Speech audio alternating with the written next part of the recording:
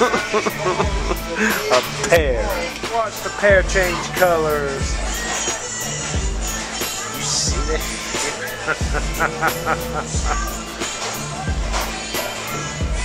Look at this sign. I want to see a red pear. It won't turn red. Come on. Damn it.